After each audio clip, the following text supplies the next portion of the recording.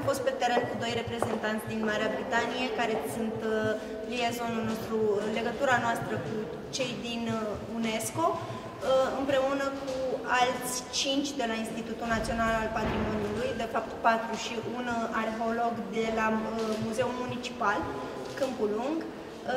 Am discutat despre ce va presupune asta pentru Câmpul Lung, pentru că introducerea unui sit în patrimoniul UNESCO vine după sine